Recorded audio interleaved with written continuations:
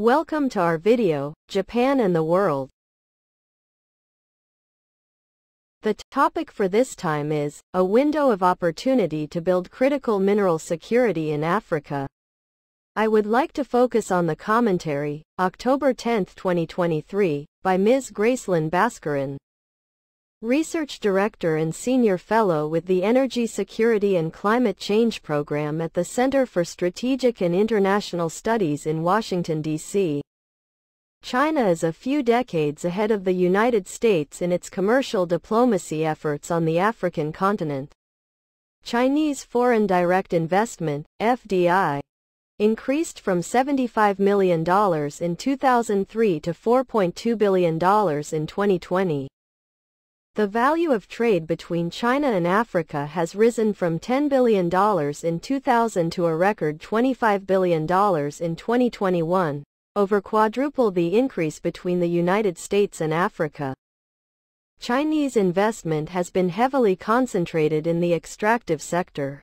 In the Democratic Republic of Congo, DRC, where roughly 70% of the world's cobalt is produced, Chinese firms owned or had stakes in 15 of the 19 cobalt-producing mines after a U.S. firm sold one of the DRC's largest copper-cobalt mines to a Chinese one in 2020. Can the United States, or even the larger bloc of Minerals Security Partnership countries, catch up or become a competitor?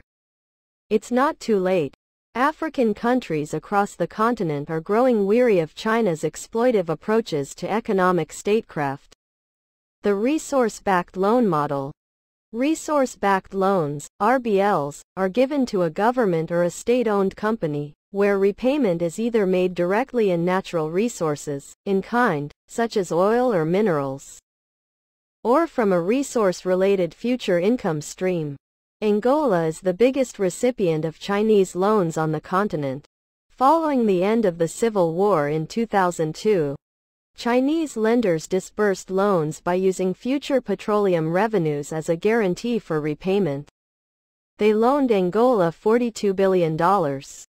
Over a quarter of total Chinese lending to the African continent during the 2000 to 2018 period. The RBL supported the infrastructure boom following the war, roads, ports, telecommunications, housing, power plants, etc. The model worked until oil prices began coming down.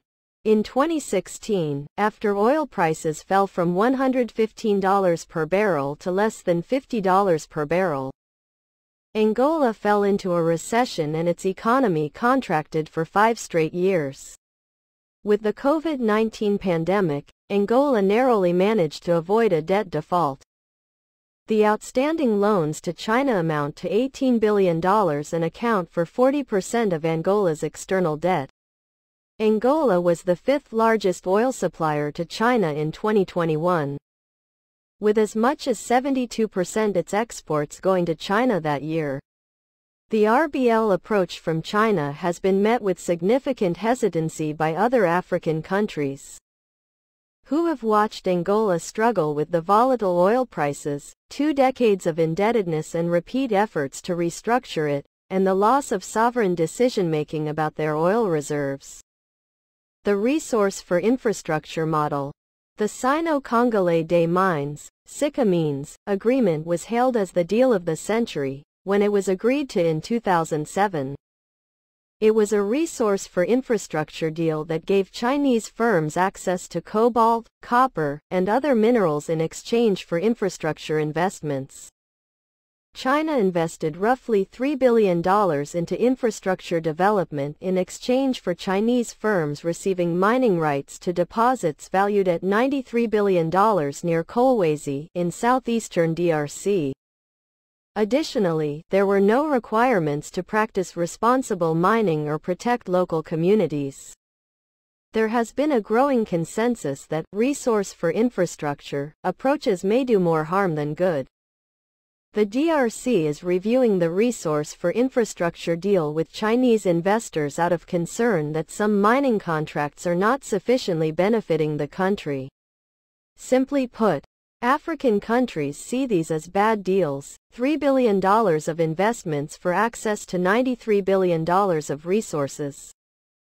And it leaves them in a very disadvantageous position while also preventing them from giving extraction rights to the bidder that brings the most lucrative offer.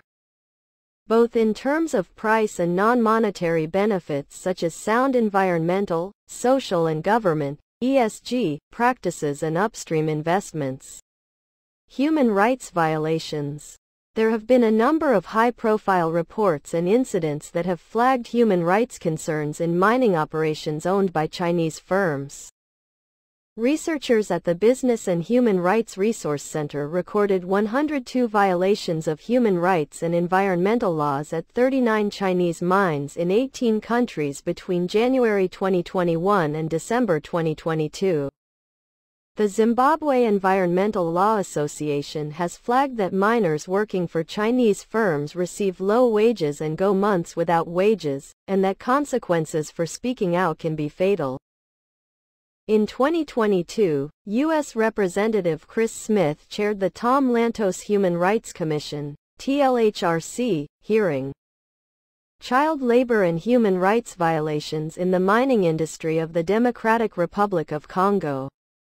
The hearing included powerful testimony from Hervé Diakise Kayungu, a well-known Congolese civil rights attorney. He confirmed the use of child labor at the Kasulo deposit and elsewhere, calling enforcement methods China's new way of colonization. Two persons identified as Chinese citizens instructed two Congolese military officers to whip two Congolese who were found on their site. African leaders are rightfully hesitant to enter partnerships with countries and firms that have a track record of human rights abuses. The fallout of Angola's decades-long struggle with RBLs, the DRC's imbalanced resource for infrastructure deals that have shortchanged it billions of dollars in minerals, and the plethora of high-visibility human rights violations, have eroded decades of advances China has made on the continent. There has been a growing consensus that exclusively partnering or over-relying on China may undermine African countries' own resource sovereignty. There is evidence that some African countries are moving away from a mining sector dominated by Chinese firms. There have been significant investments from Australian, Japanese and British and U.S. mining firms in the region in the last 18 months. It is not too late if the United States is willing to invest in partnerships with African countries. Countries are actively seeking out partnerships with diversified partners, particularly for financing and technical expertise for value chain development. To maximize their benefits from the green energy transition.